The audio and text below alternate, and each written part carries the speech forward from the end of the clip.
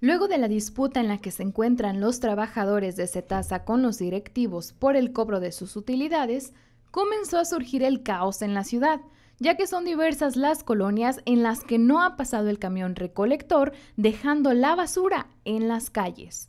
Algunos vecinos manifiestan su comprensión ante la situación que atraviesan los trabajadores. Sin embargo, señalan que esto ha pasado a otro nivel afectando a la ciudadanía.